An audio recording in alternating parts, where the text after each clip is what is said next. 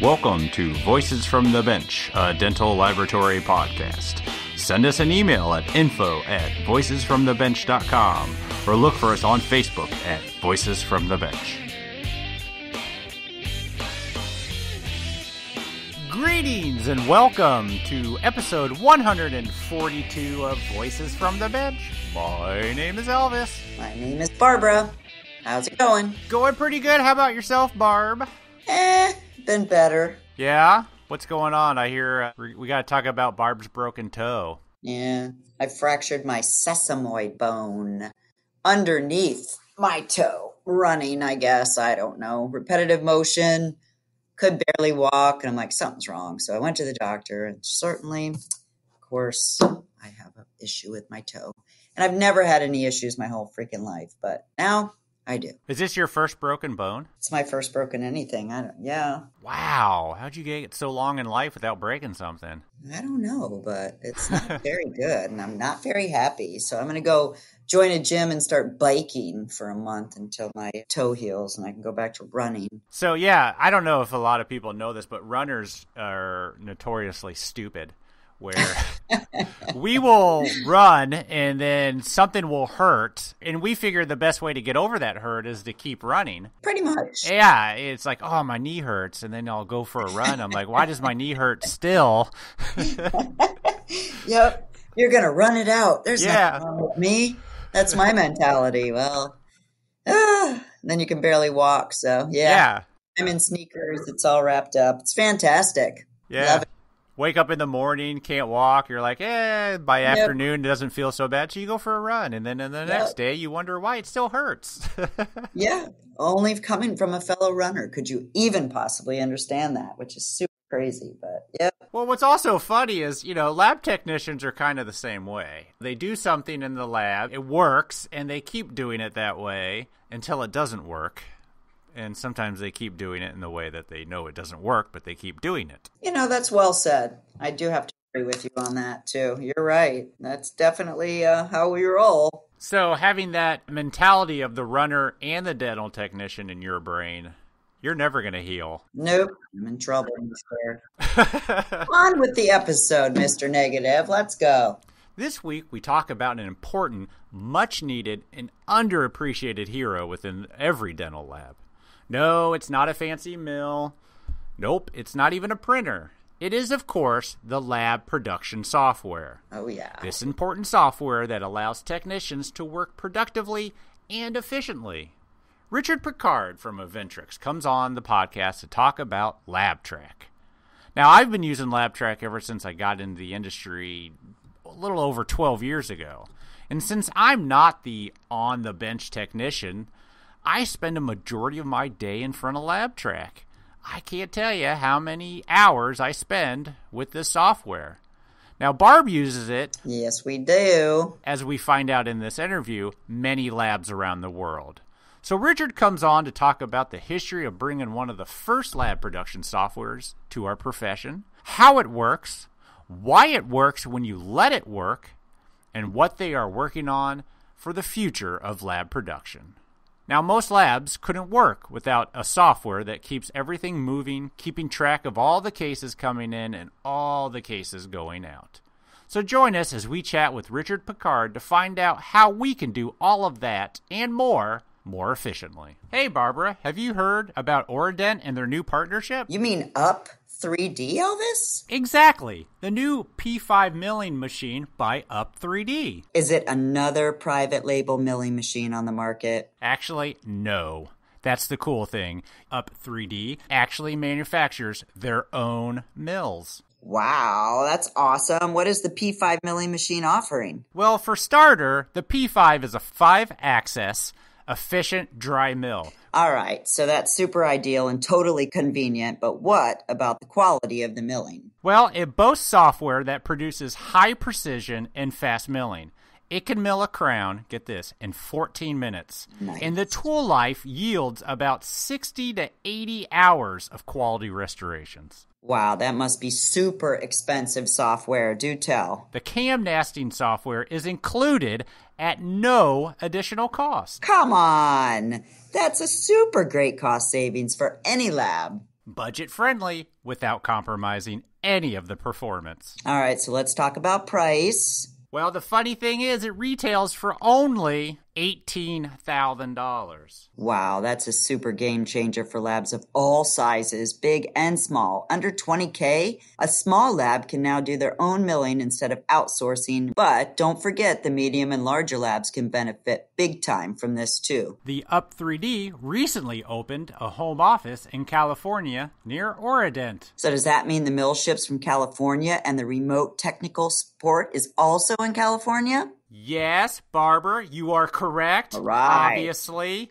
as always, they are both in the United States in Southern California. All you got to do is call our friends over at Aurident 1 800 422 7373.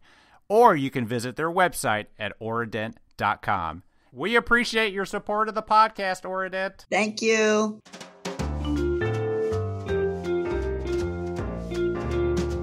Voices from the Bench. The interview. Well, we'd like to welcome to the podcast today a gentleman who's kind of a behind the scenes in the lab. And really, I have a love and hate relationship with your product, sir. We have Richard Picard. Is it Picard? If you're from England, it's pronounced Picard.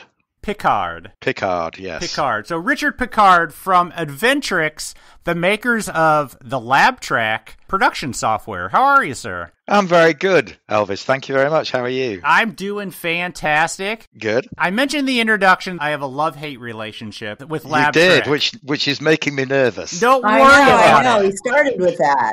Jeez. I have to say that at our lab, I've only known LabTrac. There's a handful of softwares out there that run production within labs, but for 12 years, I've only known LabTrac. And 12 years. Yeah. Holy so when we talk a lot about, you know, 3Shape design and Meshmixer, for me, LabTrac is my software I spend 10 hours a day in front of. So that's my love hate. I love it. Yes. but boy, do I spend a lot of time with it. So, Richard, thanks for coming on. Sorry about the terrible introduction, It's fine. Don't worry. It's a pleasure. but I wanted to kind of get the story of how LabTrac came to be. I mean, did you come from a lab background? No, I no, I didn't. Not at all. The short version of the story I'll try and give you is basically I, I was one of three brothers with a father who was a very good lawyer, who defense lawyer, Okay. and he wanted three professional sons. So he wanted a lawyer, an architect, and an accountant. Wow. Um, from the age of four or five, I was told I was going to be the accountant. Oh, that's fun. And he got what he wanted. He got three sons. One became a lawyer, one became a, a very well regarded architect in London, hmm and I became the boring accountant. That's what I that's what that's what I did. So yeah, so nothing to do with dental labs at all. Nothing to do with them. so, how did you find your way to uh, the dental laboratory industry? So I realized fairly soon after uh, working as an accountant that I hated it. I thought you were going to say I, that. I didn't I didn't like the people very much, and I didn't like the job. The only one bit of the job that I did that I, I loved doing was I got asked to be on the fraud investigation squad. Oh. Um, and it was for a big multinational firm of accountants called Binder Dijker Otte. I don't know if you've heard of BDO, but they're, they're still around now. Mhm. And they used to send me on these trips all over the UK investigating potential fraud. Oh. I used to do things like go to the Outer Hebrides and climb up oil tanks and have to dip a dipstick in and measure the oil. And on one particular day, on one particular day, I climbed up this tank, measured the oil, climbed down. It was raining, and the site manager called me over and made me a cup of tea, took me into his cabin. What I didn't know was in the background they were turning the taps Oh. and emptying one oil tank and, and filling up another one. Hmm. And then I'd go to that one, and that one would, would be full. But I clocked on to what they were doing, and I went to another one without having another cup of tea, and it was empty. And we discovered that they'd been overcounting their inventory by billions of dollars for years. Really? So I used to love I used to love that job. Then I got headhunted to work for a big bank and set up a software division for the bank that was selling business solutions to their customers. Okay. Mm. From there, I was headhunted again to work for a private company, again selling business solutions, finance packages, and things like that to their customers. So I was making a living, but not necessarily found my vocation yet. And then one particular day, a close friend of mine said, Hey, I found a business that I'm interested in investing in. Would Hmm. you be interested in in- investing in it too? So we bought a software company. Mm-hmm. It was called Mantech back then, which was 25 years ago. It was developing and supplying software for manufacturing, very large engineering companies, manufacturing turbine engines and things like that. But the Mhm. core fundamentals were sort of handling production, making sure that this lump of metal was delivered as an engine on time to British Aerospace or whoever it was. Okay. So we got involved in that. The software was very powerful and very good at what it did. And then the first dental lab approached me probably about three years later. I was aged about 30 at the time when I set up on my own. And basically, this dental lab at the time, they don't exist anymore. Uh, uh, we're all familiar with what's happened in the dental industry, but this lab, they employed about 200 technicians at the time Wow. and everything was very manual everything was obviously very traditional digital workflow hadn't come in then Sure. and this this owner wanted to be able to look at his technicians every day and know who was being productive and know who wasn't so we That's genius. yeah he contracted us to develop a system the first system was called LabTrac it was developed using microsoft access of all things Wow. back in the day, but it very quickly became the only product in the UK dental lab market that did what a dental lab needed. Interesting. So within the space of about five years, pretty much every dental lab in the UK bought it. hmm. Wow. So was there any other software on the market at that time? No, So everybody was doing. You always hear about those labs that do like paper. They handwrite. Oh yeah. They have a ticketing system.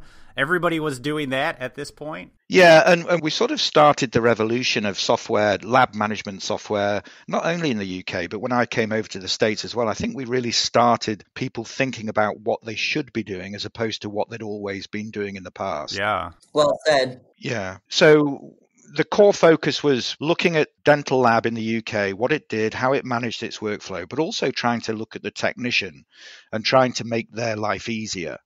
Because what you'd hear typically as a technician in the lab would be complaining about one day they'd be asked to do overtime and then the next day they'd be sent home at lunchtime. Yeah. Hmm. And they wanted a standard, predictable workflow every day. So that's what we tried to achieve with scheduling the work to technicians, managing workflow, and making sure that they had the right volume of work every day, but still guaranteeing those jobs got delivered on time back to the doctor. So Hmm. that's what we sort of got involved in. I spent a lot of time with a couple of labs in the UK looking at what they needed and then going back to base and developing what they needed. So that's how I got started. How long ago was that? That was 25 years ago, Barbara. Wow. I know I'm ashamed of that. Uh, it's a long time. Um, but yeah, 20, 25 years ago. So I remember when you first came to our laboratory and you said, sh- sh- sh- sh- what is it? Scheduling? Scheduling, yeah, I Scheduling. love that. I still to this day will say that and refer to you. So Uh, yes, with yes, okay, very good, very in a good. good way, in a good way. It's a good thing to be known for. yeah. And I think, in fairness, that sh- the whole scheduling concept of managing the production steps in the lab, sort of, we introduced, I think, because everybody prior to that, th- and there were lab management systems in in North America that you know we we looked at and compared what we did too. They all basically effectively bookkeeping systems. They're taking a case through the door, they're scheduling it through the lab, but they're not managing whether it's done on the day it should have been done or not Yeah. Yeah. it's it was still a black hole and i think we sort of brought in a whole new concept which is dynamic scheduling Hmm. Yeah, expand on that, would you? I personally know, but our listeners might not. So kind of go into that a little bit. there's inherent problems barbara as you know with dynamic scheduling but the, the, the Mhm. concept behind dynamic scheduling is that as long as a technician tells a system interacts with a system and is willing to interact with a system then during the day we know exactly where that production's step or that case is in the lab. hmm We know who's finished it last, we know where it is, where it was last, we know where it's going, and we know where the person who next receives that case or has to work on that case um, starts it. Hmm. And obviously, it's, it's moving to a digital workflow, so there's fewer hands involved. But now, instead of hands, it's printers and milling machines. Hmm. But the concept's the same. But it to benefit from dynamic scheduling, you really need compliance. Oh, tell me about Yes. it. That's the hardest part. And getting a technician to do anything requires buy in from them. Yeah, agree. So that's the big challenge for dynamic scheduling. But the core fundamental concept is right. The lab needs to know what cases today are running behind schedule, what cases today are on time. Hmm. Which doctors do I need to be scared of when they call because I can't tell them the truth? Yeah.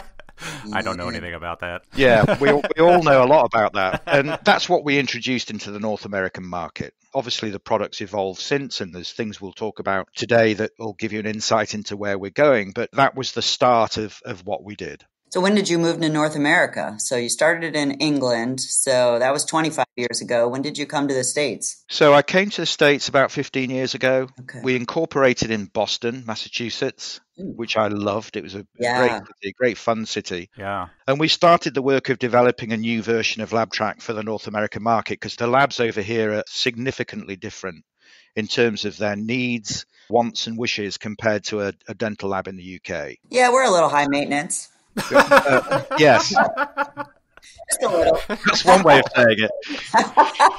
So what changed? I mean, the LabTrac I look at now that Barb and I both stare at daily. Yeah. How is that different than when it started 25 years ago? The LabTrac you look at now, the whole sort of principle that we've followed all the way through from the beginning of starting here is that we have to listen to customers' needs and that the product has to develop around those needs because it helps. I can't think of everything and I don't think of everything. So I can't tell you what you need. I need you to tell me what you need, and then we'll look at developing it as a solution. So over the years, the products evolved and evolved and evolved because of customers like Barbara and like you, Elvis, although less like you, Elvis, because I know we benefit. you tend to use what you've got and not pushers, but other customers like Barbara's Lab and, and others since get quite demanding, but for the right reasons. They just want to become more efficient and more profitable. Yeah. And we're there to try and help that happen. hmm The whole principle behind what we do is not delivering a package like QuickBooks and saying, here you go, that's it, and it'll never change. Yeah. We want to be there for you next year and in, in 10 years' time with whatever's needed for you then. Yeah. And you definitely are. I can say that because when you refer to us as that way, you know, there's tons of reports that we've asked you guys to do for us that we needed to manage our laboratory and your customer service is amazing. We've been able to create reports to make us manage the laboratory better and faster. And, and it's just been a great experience. So hats off to you.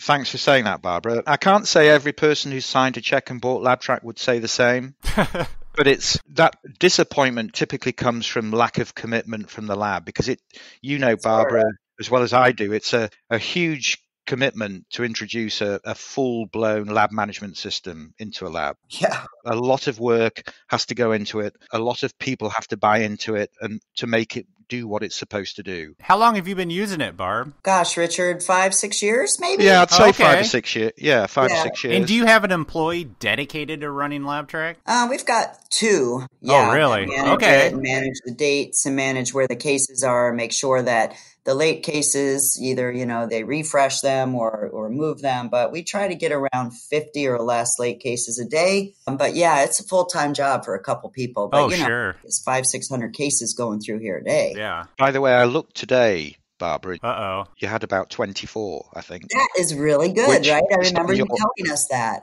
Based on your volume, it was of less than 1%. Yeah, and if you really focus on that number, then you know, and I know that from you, that you're Yeah. managing the software correctly, which is Correct. awesome. Correct. Yeah. It means that technicians are actually complying and they're, they're Mhm. doing what they need to do to tell the system to be accurate. Exactly. That's awesome, Barbara. And, and if we can get every lab doing that, then awesome. But it, it's a challenge, as you know. Yeah. When you first go into the laboratory, you have to actually physically sit down with the laboratory management and s- schedule how many hours each step is going to take so that it accurately moves through the laboratory. And that in itself, I think, is one of the hardest things trying to figure out where your breaks are, where your steps are, I'm certain that you go into every single laboratory and have to do that exercise.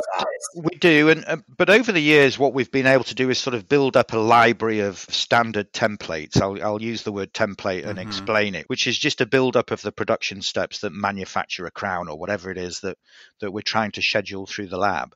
So we have sort of master libraries that we can go to a lab and say, here you are. If everything that you're looking at is perfect, then they literally can be up and running live very quickly. But yes. typically, Typically, labs are not like that. The way that you manufacture a crown is very different from the way another lab manufactures a crown, or at least the steps they want to record and make accountable are. Yeah. So every lab has to change the standard to whatever fits them.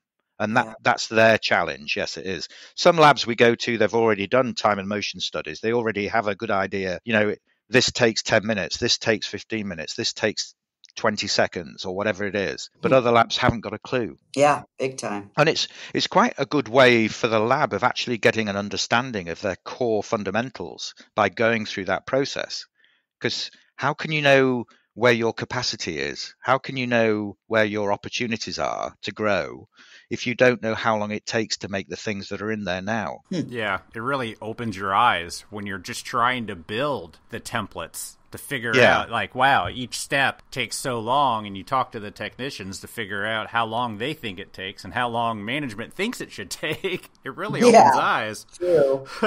yeah. Technicians like yeah it takes me two hours. Management's like no it should take you about 20 minutes. Yeah. Uh, the truth is barbara's lab is slightly different from the typical lab in terms of size and volume. But every lab who has LabTrac needs not to forget that LabTrac, once it's set up, needs to be kept up. Yeah. Mm-hmm. You know, the technicians come and go, new product lines come in, new procedures are introduced, and all of those need to be fed in to LabTrac in order for it to be able to continue to tell you the truth. Yeah. So every lab who has LabTrac needs to do that. And if they don't, if they let it go, it doesn't take long before everything starts to not make sense in terms of the scheduling and the, the power that it has. Yeah. So it's it's a it's not a full time job if someone regularly keeps it up to date, but it you know it becomes one very quickly if they don't. I get that. I tell you what, the hardest thing that our laboratory had to accept was not putting a due date on the on the work ticket. Yeah. Oh my God, you would have thought somebody died in this laboratory. We had so many so many people upset about that, but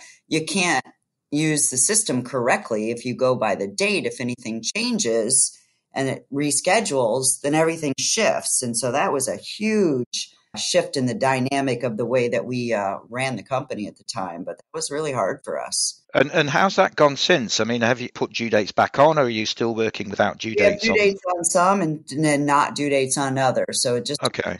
Like the implant is a separate department, and they have to have them on there. But yeah, we're we're still doing it. I mean, the intent behind not needing a due date, or at least trying to to not necessarily make it obvious to a technician the due date of a case, is to try and stop them picking their own work. Yeah, and and to try and get them to work within a system as opposed to outside of the system. Mm and, and, not all labs embrace dropping due dates off cases for, for technicians, but you know the the labs who people like BJ at Rowe, uh, you know yeah, BJ yeah. very well, I think. Yeah. People like that embrace it because they know it makes them more efficient. Mm-hmm. So it's you know we have to work with all kinds of labs, and some it works for, some it doesn't. What do you guys do, Elvis? So, when you schedule a case, for those that don't use LabTrac, you get a sheet of paper that I guess default is shows the date it needs to go out the door. And at the bottom has a list of every step you've associated with that product and what date that step should be done. Yes. Correct. So, Barb, you eliminated the date it needs to go out, but it still has the steps? Yes, that's correct. But the steps don't necessarily have to have a date associated with them mm-hmm. because what you don't want to do is have to reprint that work ticket every day. Yeah, that's what I was thinking. Because the, the whole core fundamental behind the scheduler is to look at every case in the lab every day and make decisions itself using the algorithms it's got that we know work because we've been doing this for so long. Yeah. And basically say, look, based on what I know and the workload that I have, and the capacity available to me today based on the technicians in the lab physically now, as opposed to those in general who may be or may not be here, but the ones who are actually here, I know what I need to do now today. And I, I can move certain cases out to start tomorrow because they don't have to get done today. And I need to move certain cases in today because they do have to get done today to keep on time. So if the hmm. schedule is allowed to do its job, it'll move cases around to make the lab the most efficient it possibly can.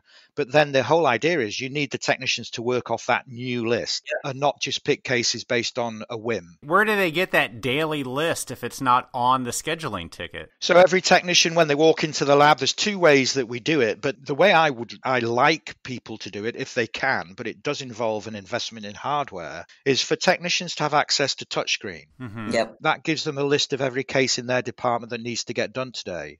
And obviously, every day it changes. It will order that list too based on priority. So if there's five technicians, it becomes a rush case. Five technicians have to work on this case today. It'll put that at the top of the list. So they do that first. So the other technicians aren't waiting for it. Ah. So we have that, Elvis. So we did invest in the touchscreen. We got everybody a iPad. And so it brings it up and you've got 20 cases in front of you and it'll actually show you the priority and which one you have to do first, which one you have to do second and then so on and so forth. So it actually manages their day for them via the um, touchscreen. Every technician has a touchscreen? Yeah. Whoa.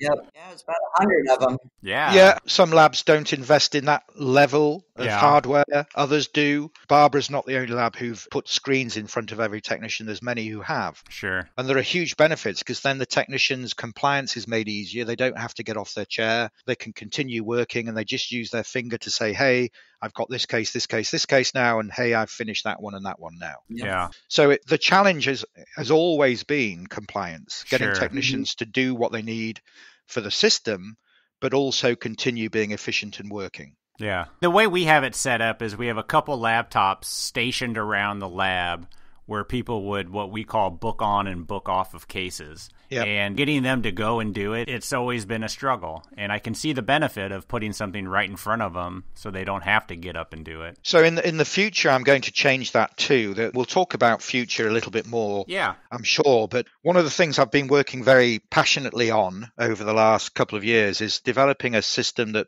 will take away the need for a technician to be involved with a system at all. Oh wow. Yeah. But we'll still know that they had the case and we'll still know that when they started it and we'll still know when they finished it. Wow. Ooh, that sounds exciting. Yeah, that's coming. Yeah. It'll also, Barbara, solve the problem of when you get a call from a doctor saying, Can you tell me where my case is up to? Hmm. And then someone in the lab has to go and find that case. That's where I get my steps in. Sounds to me like it's a chip, something chip related, but all right. Yeah, I would agree with you. This will literally tell you hey, go and find it. It's in room number three within three feet of the corner of the room. That's awesome. But the beauty behind it as well is it will also tell you the historic flow of cases of certain restoration types through the lab. Hmm. So you can start to see where where the bottlenecks are created simply because of movement as opposed to people.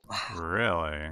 Yeah, it's a, a huge opportunity, I think, for most sort of medium sized labs and above. Yeah. I get about two miles a day walking around looking for cases. Yeah, well, I mean, I've, I've been to labs where production stops until they find the case. Yeah. Yeah. Entirely. People see me walking around. What are you looking for? And I tell them the number. Then three other people are looking for the pan. And oh, yeah. I can totally see the benefit. So, what you'll be able to do, Elvis, is pull out your cell phone and enter the case PAN number or the case number or the patient name or the doctor name, and it will draw you a picture of where it is in the lab. That's wow. Awesome. How do you come up with? Do you have like a team of people, of innovators that come up with this? I'm sure you're included, but like, how do you keep yourself so advanced? That particular development is for good or for bad entirely me.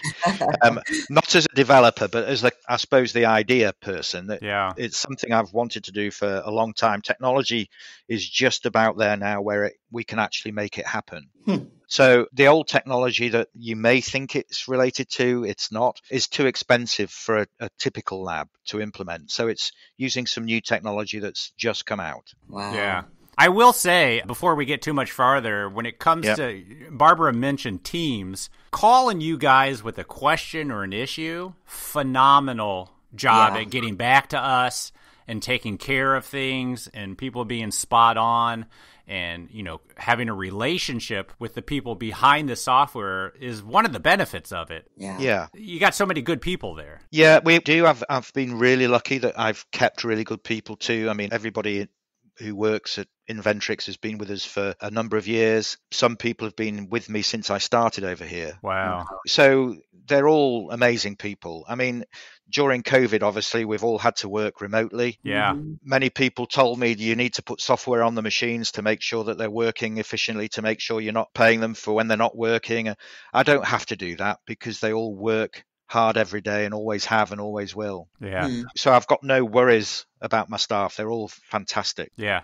To just go back to that point, it's one thing I'm extremely passionate about for good or for bad is customer service and not selling widgets to people. Uh, Yeah. It, it's not my game. I've never wanted to. I don't believe in selling a piece of software to somebody and not being there for them afterwards. Yeah. So it's how we will always be. Whatever platform LabTrac ends up on, we will not be a sort of cloud based provider, unavailable, unwilling to help. Yeah. We will always be driven by customer service because, unlike most of the labs that, that are customers of ours, we don't have a sales force. We don't have anyone selling LabTrac. Mhm. hmm And I'm quite a shy person at heart, so I don't even go to most of the shows. Typically, I go to the midwinter. Yeah, we see you at Cal Lab, right? Yeah, I'm, Yeah. I'm, I'm typically there every year. Obviously, not next year, but typically I am. Yeah. But we we sell by people talking and by customers recommending us because of what we do and because of the support we provide, Mhm. and that's that's how we've always grown.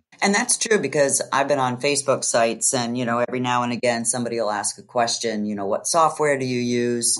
And, you know, you've got a number of people that'll go on there and say, we use LabTrac and, you know, are super positive about it. And I can see the ripple effect where, you know, how we are in the dental community, you know, Yep. you listen to somebody that says something positive about a company and or a product and you want to investigate and see it. So Yep. I could definitely see where that would be a, a referral for you guys. Yeah, so it's a passion of ours that we want to do a good job. We we believe in very much like a- as a human being, you want to be able to look yourself in the mirror every day and say, "I've I've done good today. I've not Yeah. hurt anybody. I've been a good person. We well, we want to be a good company and Yeah. do the right thing by people every day. That's that's how we were founded, and it's how I want to always be moving forward. Yeah. Yeah. It shows. It shows with your staff.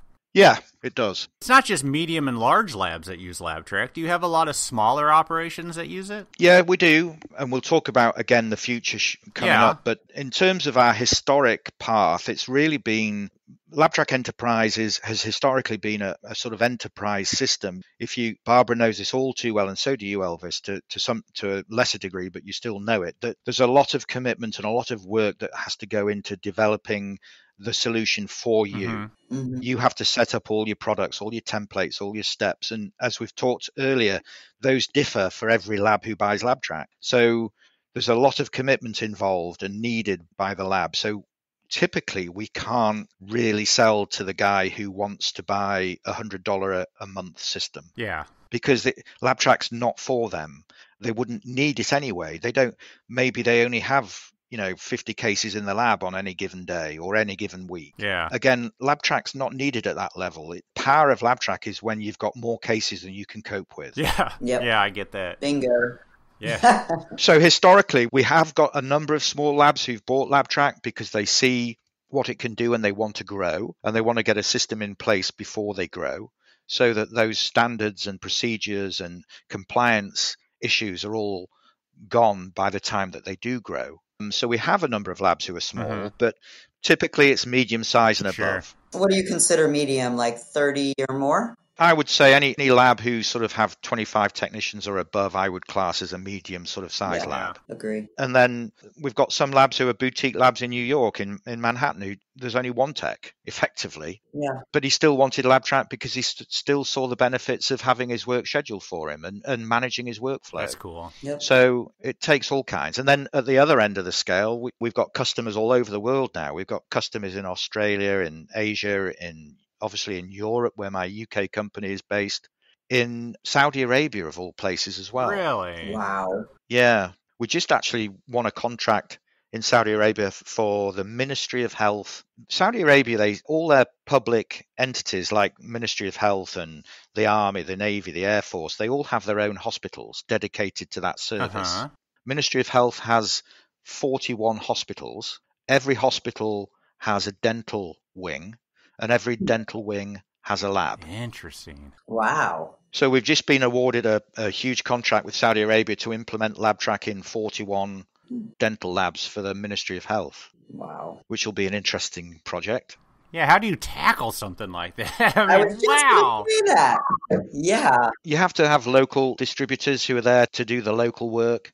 So we've got those in place. We've got a couple of distributors in Saudi who um, they'll in, sort of install and implement LabTrac. So we're just the back desk support team really for them. Wow. Wow. You got to translate the whole language of the system. No, no, no. They they use it as it is. Really? Yeah, yeah. Interesting. And then we've obviously got contracts with the Ministry of Defence here, so the Army, the Navy, the Air Force, Oh. the VA hospitals all use LabTrac too. I had no idea. Wow. And your dad wanted you to be an accountant. And my dad wanted me to be an accountant.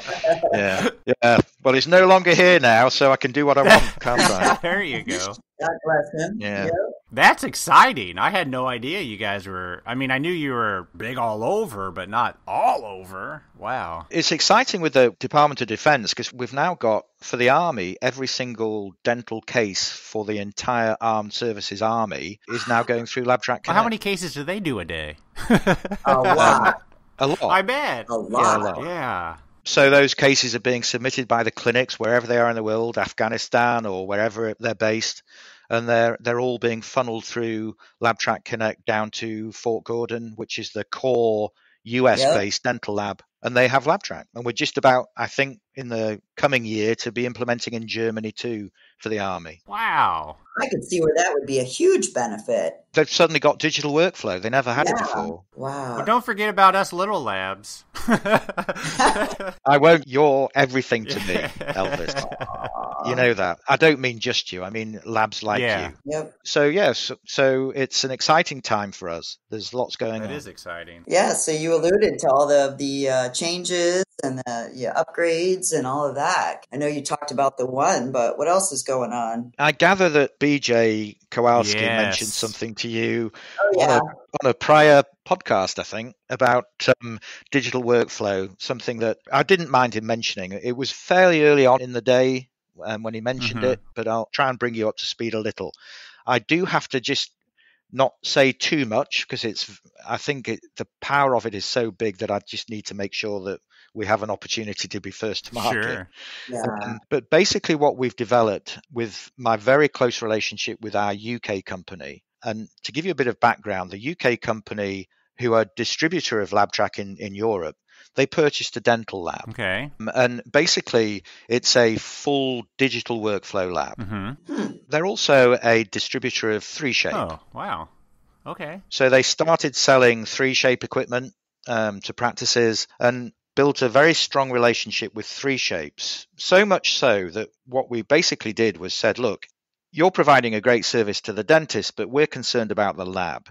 You need to come to our lab and you need to see the workflow that we have to go through, the pain we have to go through Yeah. every day to manage this digital workflow Mhm. and something has to change. So they were extremely good about it. 3Shape, they came from Denmark and sat down in front of us and saw the workflow that we had to go through. Mhm. And Wow. you know this all too well, don't you? That Yes. you get a, you get a case from 3Shape, for example. I'm talking about all of them now, but Mhm. 3Shape, let's say, you get an email saying, "Hey, you've got a new case. You have to log on to 3Shape Communicate. You have to download and print the printable order form. You have to then download the STL files. You have to manually enter the case in LabTrac. You then have to go to the desktop design software and manually enter it again. Yeah. Yeah. Yeah. yeah. Yeah. yeah. That's for one case. Yep. So the minute you get 50 cases a day, which you probably already have, Barbara, don't you? At least, Oh, I would yeah. think. Oh yeah. Imagine how much time that takes. Yeah. A lot. Yeah. What we've developed is a cloud based portal called iOS Connect. Hmm. It talks to all the iOS vendors' systems. Cool. So, to give you an example, if you're a 3Shape lab, you log in with your 3Shape communicate account.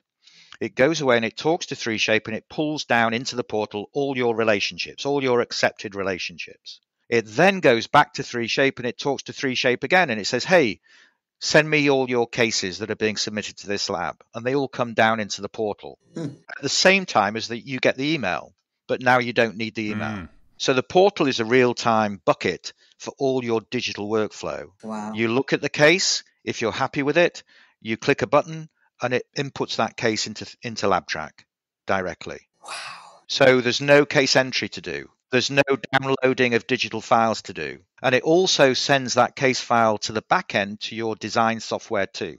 And it doesn't have to be 3Shape design software either. Wow. So that's a major development for us. We've currently plugged in 3Shape, iTero. We're just about to add Medit, Carestream, Planmeca, and Sirona. Oh wow, that's Wow. the big ones all right there. That's a fairly major development. Agree. And, and it's all driven because of the need for the lab. We know your pains. I've known them for years. That it's obviously you're you're trying you're fighting so hard to keep customers every day because there's so many people offering cheap crowns or whatever they're offering. You get the rough end of the stick all the time. Uh, so we're here to try and make that as bearable as possible and make you as efficient as possible. So we wouldn't have to log into Medit and iTero Nope. and all those where you spend half a day. Nope. That's awesome. and you miss the cases and you miss the comments and you miss the files. So all of that goes away. You can't miss a thing because it's all coming into one bucket. That's awesome. Yeah, I do find that we miss things, that's for sure, especially in that arena. Yeah. So when is that happening? Next week? Well, it's, it's, ha- it's happening now. We've rolled it out to seven labs so Yeah. far. Nice. We started off with, uh, and funny enough, it, it's it's been a strange experience, COVID, for us. We've picked up more new customers this year than ever before. Well, people had time during their furlough to kind of reassess how they're doing production. Yeah, well, funnily enough, probably two thirds of those labs are brand new labs. Oh. In other oh. words, they've recognized an opportunity to set up during the quiet time, get everything in place, and they're launching now as we speak. Interesting. That's great to hear. A lot of startup labs. And these startup labs have heard about what we've done with 3Shape and others. So it's been a very logical first step for them. They're literally going from nothing to a fully digital workflow on day one. Wow. That's the way to do it. if you're going to do one now, that's definitely the way to do it. Oh, hell yeah. So yes, so that's it's been exciting. There's there's some other developments Yeah. that we're in the process of, and I think again, I think BJ mentioned one of them. I think you're trialing it now, Barbara, aren't you? The integration with Zimbus. I do believe we are. Yeah, I think you are. So the whole principle behind what we do is I don't believe in reinventing wheels. If there's something out there that does a good job and will help you, I'd rather integrate with it than try and copy it. Yeah. Yeah. So Zimbus is an integration that we've done that, that works really well. We've been working with a couple of vendors on a digital wallet for your iPhone or Android phone that allows you to communicate directly with your doctor. Mm. So that's going to come out soon. Other customers with their mobile apps. We've done a, a brand new integration with UPS and FedEx, which you're just about to, to start using, Barbara. You may not know Yeah. about it, but Yeah. this allows you to, when you're invoicing the case, it'll print off the shipping label at the same time. Yeah. Pull that shipping label back into LabTrac, and then it'll also give you tracking information real time on all the packages you've sent. Um, and if there's any delays, it'll tell you. Yeah, that's super important. I've been in the shipping department helping and you got to click this and you got to do this and then you got to do that and that's that's Yeah. going to be a time saver. Yeah, I I think quite a big time saver Yeah. for you guys. And I I think for other labs like PJ at Row and others like you, it's going to be a huge benefit. Why is Barb getting Yeah. all the hookup? How come I'm not getting the UPS integration? You are because we ship 700 packages out of here a day and that's going to save hours and hours and hours and we're always like, "Hello Richard, can you help us with this? This is not The benefit for you, Elvis, is that a lab like Barbara's lab, they'll talk to me about what they need. We'll develop what they need. We'll make it work the way they need it to work. And then I can come back to you, Elvis, at the next user group meeting, which I'm going to do online using Zoom Yeah. this year. And it's I'm planning it being in November. But I can then say, hey, Elvis, we have a module now that you can have that integrates UPS directly with their API. So I can't give it to you at the same time because we go through that process with the labs who ask for it or involved in its development. What he's trying to say is that we're super high maintenance Yes, and we're constantly on the phone trying to tell him, how can we help us? but I'd rather have a high maintenance lab though, Barbara, because it pushes us and Yeah. I want to be pushed. I don't Yep. want to sit back and think that we, we're everything to everybody because that's when we'll fail. Well, Barb, I would also prefer for you to do the trial and error and You're just jealous. Work out all the bugs. And once you've perfected it, then we'll take it on. So, All right. In the last few minutes of this, uh, just to give you an understanding of sort of the new technologies that we're involved in doing, I'll, I'll try and describe a vision to you if you like. Yes. And the vision is that is this that ultimately there's one core product that all interested parties in the dental world log into, Hmm. whether it be a dentist, it be a technician, it be a lab owner, a lab manager, it be a third party vendor, Mhm. like all of those requirements of all of those people become one system. Yeah. Because if you think about it at the moment, what you have is you have disparate systems to solve different people's problems. You have a cloud based portal for a doctor to log into to submit cases. You have LabTrac for a lab to log into to report on their own information. But, but in that information is also the doctor information that you'd ideally like to give to them and that you're having to do now with DSOs anyway. yeah. Hmm. So why not have one system with all of that data in it that everybody has access to, but at different levels based on need? The doctor logs in, they can submit a case. The doctor logs in and he can do reporting on his data. The DSO logs in and can report on multiple doctors, multiple regions, or single offices, or single accounts. The lab technician logs in and they see their production requirement for today. Oh. So instead of having four or five different systems trying to solve four or five users' needs, why not have a system that does it all within one? So that's what I'm working towards. And we're slowly bolting on those effectively modules into one system. So we're working on LabTrac, we're working on the iOS side, we're working on the cloud based portal side for the doctor who doesn't use 3Shape but still wants to submit cases your way or still wants to track his cases. Mhm. And ultimately, these are all going to be incorporated into one core product with the same look and feel, the same data, but given to different people based on need. Yeah. Wow. So Barbara first, and then everyone else. Yes. you know it. Actually, I think BJ first and then possibly. Well, I don't know. There are others, you know. It's not. BJ doesn't get everything. yes, but- he does, but To, to be fair to BJ, though, he has some really good ideas, Yeah. and he's very brave at dipping into new technology, yep, which is awesome because it helps drive technology oh, forward. sure. Yes. I'm very glad to have BJ on board, uh, just as you, I am with you, Barbara. Yes. And Elvis. Yeah, coming. whatever. So the idea is eventually a dentist will be able to log in to their version of our lab track Yeah, I was going to They'll be logging into LabTrac. with limited view, obviously. They'll see their view, yeah, that you want them to Yeah, see. sure. And the DSO at head office will be logging into their LabTrac, the same LabTrac. But then what's happening is that you're presenting the data that they want to see to them. They're not seeing the day to day nitty gritty of the lab, but they are seeing the information they need because all of that data's in there. They're not seeing who we're charging down the street with that price or anything. No, Yeah. no, no, no, no. They're seeing what you want them to see Yep. and what they're interested in. You know, they're getting very demanding DSOs, Yeah. aren't they, Barbara? And that, that, Oh yeah.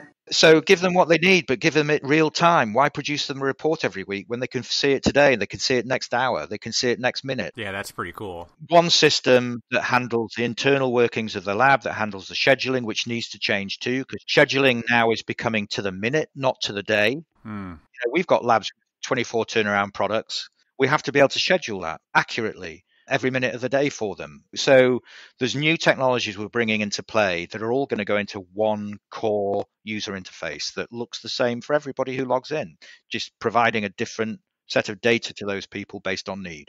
I can't believe that. That's quite an undertaking. I can't imagine how much is on your plate. Well, we're doing it block by block. We've got two of those blocks already in place. We're just about to finish the third of those blocks. So it's it's just coming along block by block. Yeah. How much time do you spend in Europe? That's a sore point, Barbara. I used to fly back for the last 15 years. I've flown back every month wow. without fail. The, actually, one time I couldn't fly because there was a Iceland volcano erupted and all the flights were grounded. Wow. But every other time for 15 years, I've flown back every month, and I haven't been able to fly back to England now for nine months. Ugh. Due to COVID? Yeah, due to COVID. Yeah. Uh, So, and I've got two grown-up boys, two beautiful boys in England that I've flown back every month to see, and I haven't seen them now for nine months, Yeah. which is hard to bear. Yeah, that's but rough. I'll survive. So I haven't got on a plane since COVID started. I- I don't think it's wise to do it right now. I don't know what you think. I have not been on a plane either. So Well, we talked about that too, Elvis and I. You know, we haven't seen anybody, we haven't traveled at all. You know, that whole face to face networking that, you know, we're so great at in our industry. I think everybody misses that. Yeah, I bet you. So, if a lab was interested in seeing what LabTrac could do for them, what's a good way Yep. for them to reach out and what do you provide as a uh, show them how it can help? Pre-COVID, yeah. every lab who's bought LabTrac in the past, I've physically got on a plane and I've gone to the lab. Yeah. Man, you traveled a lot. Oh, Yes, I have. I've done it around two million air miles with United Airlines. wow. I love doing that because it gives me an understanding of them. It, we can look each other in the in the eyes and make sure that they're committed and that I'm I feel comfortable with that customer coming on board because as as I mentioned earlier, we don't actively go out and market LabTrac. Yeah. So I need to know they're going to be a customer and they're going to be a happy customer. Therefore, I need to know that the system fits their needs. Mhm. So I go to every lab. Now, obviously, I can't. So I'm doing online meetings and Zoom meetings and running through the system with them and showing them, and but still trying to uncover all the things they need Uh-huh. before either they commit or I commit because it's a two way relationship. This, you know, all they have to do to contact us is email either myself, which is richard at inventrix.us.com, or info at inventrix.us.com, and I'll get an email and I'll give them a call Yeah. and go from there. Have you ever met a lab that you were like, you're not ready for this? Yes, You're- yeah? many. Really? Many. Wow. Yeah. What was the factors that made that not work? Typically, it's where a lab, the owner of the lab is also at the bench, Mm-hmm. Oh, yeah. and they will not let go of handing out the work. Yep. And the minute that I see that, I walk away. Really interesting. Yeah, I think that's the only healthy thing to do because you're not going to change that. No, and they're never going to embrace LabTrac because LabTrac's going to wrestle with them every day, saying, "Hang on a minute, I need to control the lab, not you anymore." and they're, and they're going to say, "No, no, no, no, no, I want to give out the work." Oh, Well, yeah.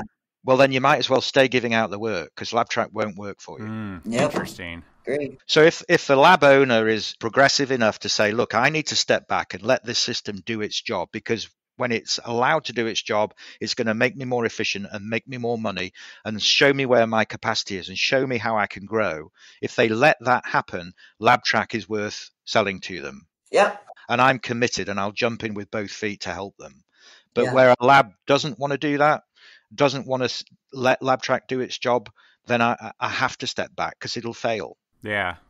Interesting. And it will. I agree. Like I said, it, you definitely have to change everything you do in a more positive, productive manner, but it, it's not the easiest thing to do. And you know how people fight change, anyways. Um, Yep.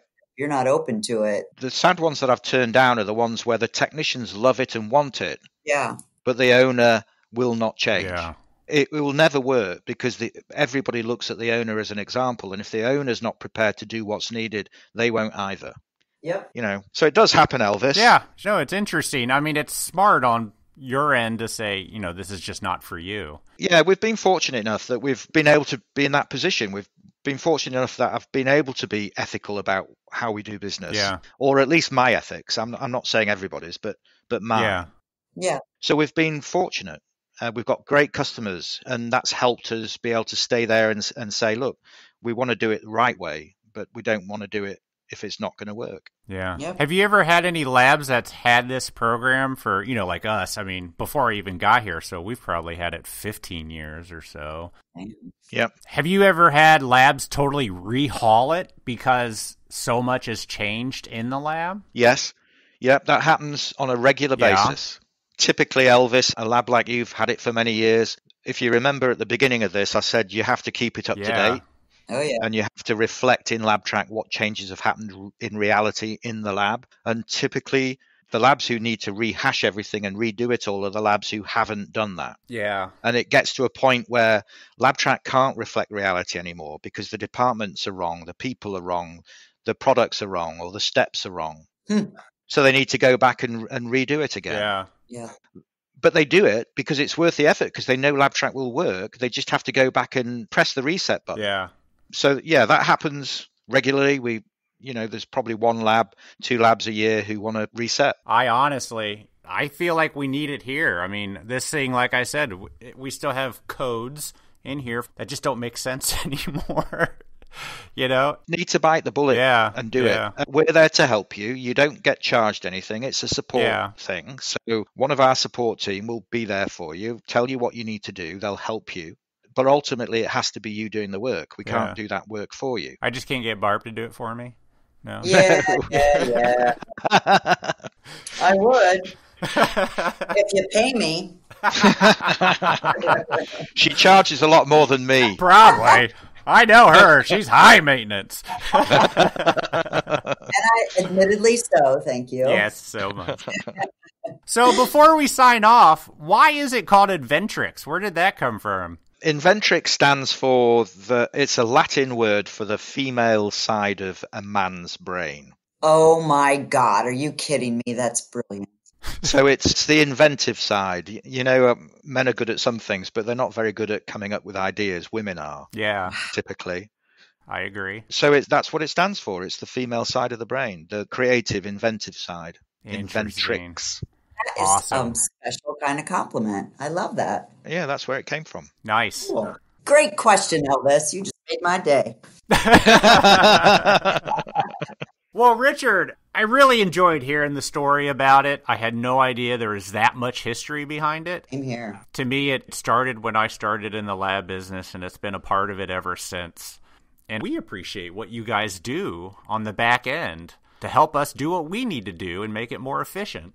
I think it's cool. Good. Thank you very much. Thank you. I echo that. Keep doing what you're doing, and I'm excited to see what new things you guys bring out because it, it all sounds real exciting. I think we've got a very exciting next 12 months coming up for everybody, for all our customers. I think there's some innovations that we've been involved in that are going to change the industry again as far as the lab's concerned, their internal workings, and make them a lot more efficient than they are now. Yeah. So I'm, I'm very excited. And as soon as BJ and Barb work out all the bugs, I'll be happy to I'll be happy to check it out. Alrighty, Richard. We appreciate it, and we will see you whenever Cal Lab happens again. Yep. Sure. And thank you so much, both of you, for your time. It's been great. Absolutely. Enjoyed it. Thank you, sir. Thank you very much. Yep. Bye. Bye.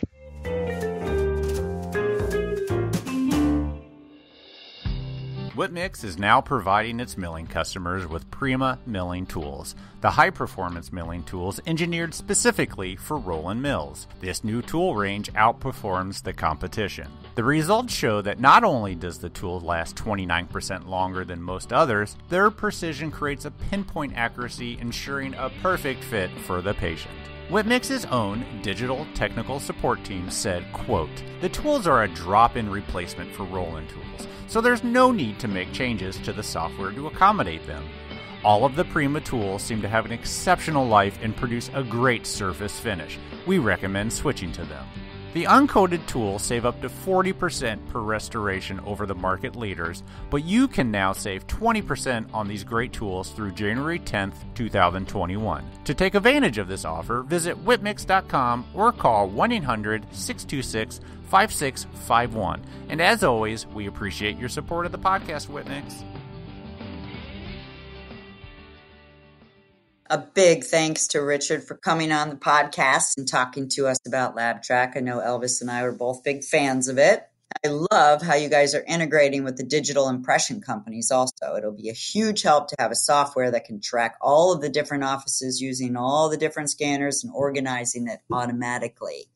Right now, it's kind of a cluster. What were you using before LabTrac, Elvis? I don't know. I came into, you know, like I said, 12 years ago when I got it here, we were already using it. So before then, I have no idea. What were you using? I think it was evident, actually. Oh, interesting. And then we switched over because, you know, they just wanted to try something different, and um, we've been really happy with it. Yeah, it's pretty cool. And actually, since we talked to Richard, and I talk in the interview about how I needed to revamp it. I've given it a go. We've given up a lot of codes and rewrote some new s- templates and steps, and I'm trying to get it revamped so it can be more productive here again. Oh, that's cool. Hey, guys, remember to head over to the dentalpodcast.org and vote for our podcast in the best dental podcast of 2020. It's easy to do, and you can do it every single day. Let's show all of these other podcasts that the dental lab industry is strong. Super easy. Head over and vote. Yep. All right, everybody. That's all we got. We'll talk to you next week. Bye.